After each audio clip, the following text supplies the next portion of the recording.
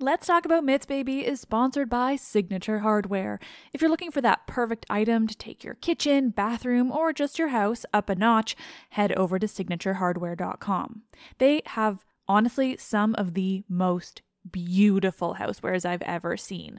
The vanities, oh my god, vanities. Who knew they could be so absolutely stunning? And I am a big bathtub person. So, yes, I've just longingly scrolled through all of their bathtub options because why not? They've got beautiful bathroom furnishings and kitchen furnishings. You could get an incredible rain shower or this a beautiful farmhouse sink or maybe just a beautiful one of those things that hangs over your bathtub so you can have a glass of wine. I've actually picked out eight different furnishings that really stood out to me on Signature Hardware. They're my style. I just love them. They're absolutely just goals. See for yourself at signaturehardware.com slash myths. You will be amazed at the variety and the quality.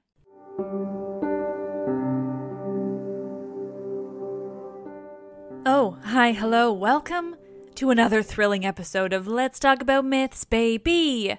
As always, I'm your host, Liv, a crazy person and lover of mythology. Well, nerds, today I've just got a quick announcement before I jump into the story. Now, if you're not from the city of Toronto or its surrounding regions, you can straight up just ignore me right now. But if you are from Toronto, listen up. I will be visiting there later in September. I used to live there, love it, miss it deeply. And while I'm there, I thought I'd throw a little test live event for all of you Torontonians, because there are far more of you listeners there than in the town that I live in. So, on September 21st, that's a Saturday, you can join me in Trinity Bellwoods Park, exact locale TBD to talk mythology, to ask questions, to chat about whatever we want. It's going to be a fairly small group, really open and casual, so it'll be a nice way to connect with me and with the other mythological lovers in the town and hopefully just learn a bunch of shit. So please head over to the Facebook page, facebook.com slash mythsbaby, and RSVP to the event there. It has all the details, and it'll have the updated location within the park on the day. And finally, it will give me an idea as to who's coming, which I could really use. I hope I get to see you there, you wonderful nerds. And now, on to the good stuff.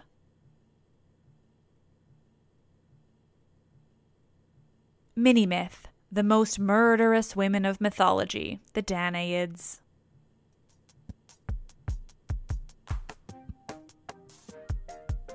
Belus is a king in Libya, and he has three sons. The two we're concerned with, though, are twins, named Danaus and Aegyptus. Aegyptus is given a kingdom, and he names it after himself. Yes, it's an easy guess there. Aegyptus names his kingdom Egypt. Of course, I must point out here that this part is very much mythical because the Egyptians were around long, long before the Greeks who would have actually written down this myth. In any event, Aegyptus rules Egypt and he has 50 sons. Yes, 50. Impressive, I know. These sons, of course, had many different mothers, because women were still women in mythology. Meanwhile, Danaus, his brother, would rule Libya. He too had fifty children, though daughters. Now, is this a commentary by the Greeks on the lives of the people in Africa? Possibly, but if it is, it isn't a nice one, and I'm certain it is also very inaccurate as to how people actually lived. I say again, the Egyptians were around long before the Greeks, they're badass. When their father, Belus, dies, the twins fight over their respective inheritances. They both appear to be kings in their own right, but I'm sure Belus had a lot of treasure, palaces, and the like, much to fight over. I might add, the twins do not seem to have had the best of relationships. Olsens, they are not. They were wary of each other and how the other might trick them, so when Aegyptus proposes a conciliatory mass marriage between his 50 sons and Danaus's 50 daughters, Danaus is concerned about what Aegyptus might mean by doing this. The fact that they're 50 first cousins doesn't seem to be a concern. You all know how much the ancient Greeks liked marrying within the family. Cousins might as well be complete strangers. It's not like they're siblings like the gods. So Danaus is concerned. His brother has proposed this mass marriage, but does he have something up his sleeve? His are the sons, so certainly the marriages would benefit them more than Danaus's daughters. Surely Aegyptus is just planning something with this proposal, and it can't be good. Danaus is so concerned with what Aegyptus might be planning that he seeks Athena's help in fleeing Libya with his daughters. He wants to bring them to Greece, far away from his suspicious brother and his fifty suspicious nephews.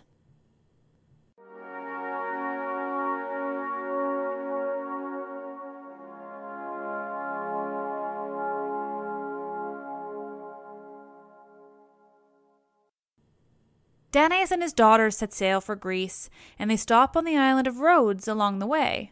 There they dedicate to Athena, as is appropriate. From Rhodes they sail again. When they next reach land, they're finally in Greece. They land on the Peloponnesian Peninsula in Lerna. There, Danaus announces that he's been chosen by the gods to become the king of Argos. The ancient Greeks may do some crazy things in their mythology, but arriving on a strange land you've never been to before when you've come from a different continent and culture entirely and announcing you're meant to be the king of that city that already has a king is simply not acceptable. The king of Argos, Gelanor, just laughs at Danaus. I mean, it's pretty fucking absurd. The people of Argos come together to discuss this claim, Danaus is telling everyone that it's Athena herself who's determined him to be the rightful king. But they couldn't make up their minds in one night, and so they put it off. The people of Argos decide it's too late. They all want to go to sleep. They'll come back in the morning and finalize who they determine to be their rightful king. But that was all it took. Overnight, a wolf comes down from the mountains and attacks a herd of cattle. The wolf takes out many of the cows and he kills the bull. Those damn omens. The people of Argos see what's happened, and oh, what a travesty! They see this as an obvious omen. Why else would it have happened on that very night? They read in this omen that if Danaus is refused the throne of Argos, he'll take it by force, bringing a whole slew of violence to Argos that they really didn't need. No, they think, the only solution is to give the kingship to Danaus and avoid the death and destruction that would come if they refuse him. They use this omen to convince the current king that he should just resign and give his throne to Danaus. And it goes well. For a long time, Danaus is a great and powerful ruler. He's sure that it's the wolf that gave him the throne in the first place, and that it was sent by Apollo, so he dedicates a shrine to him. He becomes such a powerful leader that the people of the entire region begin referring to themselves as Danaans, something that lasts for an age. He is, by all accounts, a great ruler with an impeccable legacy.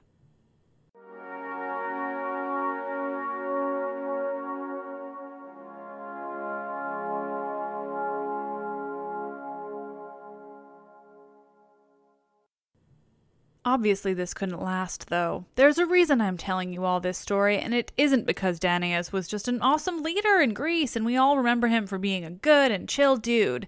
No, then why would I have told you about his brother, Aegyptus, and those 50 sons? For a long time, things were good, but eventually the region of Argos becomes plagued with a drought. They say that Poseidon is angry. The region had been determined to belong to Hera, and by God, couldn't Poseidon catch a break?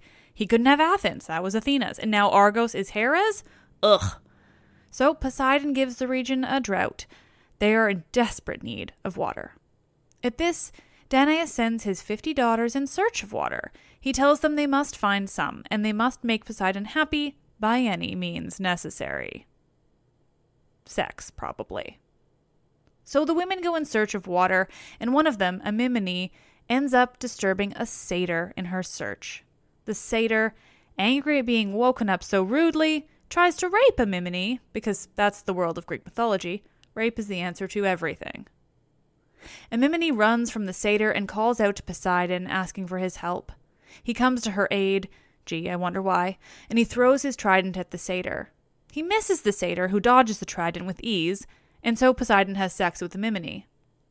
No, there's nothing to explain how he gets from throwing a trident at a satyr to having sex with her. Again, this is Greek mythology. And is it consensual? I mean, unclear? But given she's been sent with orders to make him happy, I'm going to assume it's at the very least coerced? Regardless, Amymone makes Poseidon happy, just as she was sent to. When she tells him why she was sent, he's more than happy to help. He tells her to pull his trident from the rock, where it had lodged in place of the satyr, and when she does, three strong streams of water erupt from the rock. This stream they call Amymone.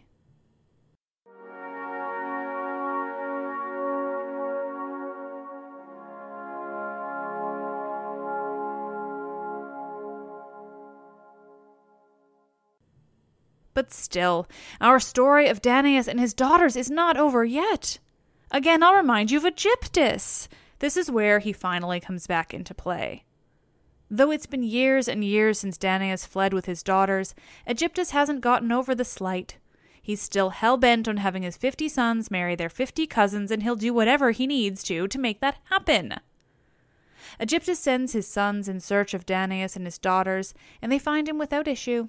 When the sons arrive, they beg Danaus to change his mind, to allow them to marry his daughters. And, we're told, they have every intention of murdering the daughters on the wedding night. Aegyptus has instilled in his sons the very toxic idea that rejection warrants a punishment as horrific as murder. Such a foreign concept in our current world. Danaus, though, isn't an idiot. He's been suspicious of his brother from the start, and he isn't about to change his mind now. He turns Aegyptus's sons down, rejecting their offer once more. Without hesitation, Aegyptus's sons lay siege on Argos. Danaus and his daughters, along with everyone else living within the city walls, are trapped. And though Amymone has helped the city get a spring, it doesn't reach the city walls. They're without water.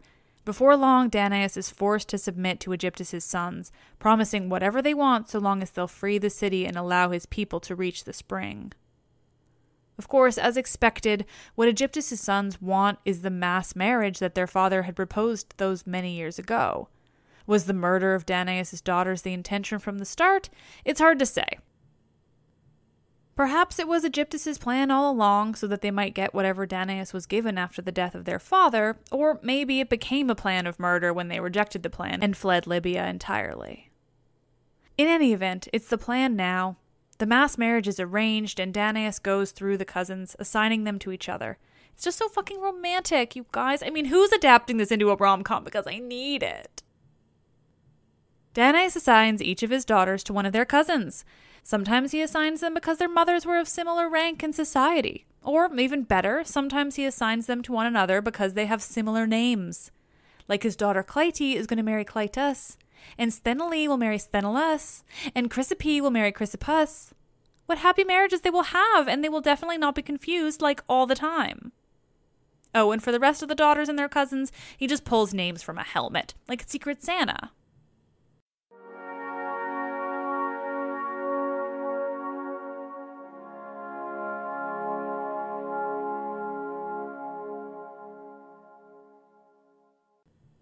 And so the wedding night is upon this very large family about to intermarry on a massive scale.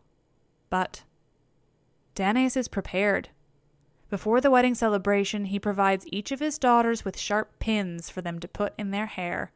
At midnight, after the feasting and marrying has been done, at the height of their wedding nights, Danaus's daughters, the Danaids, each pull their long, sharp pins from their hair and one by one they stab their newlywed husbands in the heart while they lie in their beds.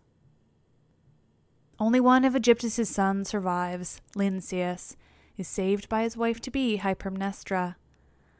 She's advised to do so by Hera. He hadn't raped her on his wedding night, so he was to be spared. She helps him escape, but in the end she's caught for this and tried by her father. The people of Argos, though, side with her, and she's acquitted. The heads of Aegyptus's murdered sons are buried at Lerna, while the bodies are given the necessary funereal rites in Argos. Athena and Hermes purify the daughters, the Danaids, for what they've done. They were, after all, going to be murdered themselves if they'd not done away with their new husbands first. And in the end, they eventually remarry, though it takes a few tries, as the first of the new husbands are treated as guinea pigs of sorts, when they aren't murdered on their wedding nights, more men arrive to marry the rest of the women. But in the end, the judges of the underworld still determine that they're to be punished. The Danaids now walk the underworld carrying jugs of water filled with holes. The water pours from the jugs as they walk, and they're forced to refill and keep walking over and over for eternity.